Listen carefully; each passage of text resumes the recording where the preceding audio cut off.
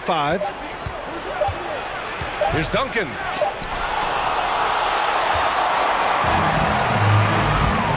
To stop the drought. And slam dunk by Jordan. He's shaking the hoop. He's actually shaking the whole building. Oh, what a slam. Look here. The fans going crazy right now.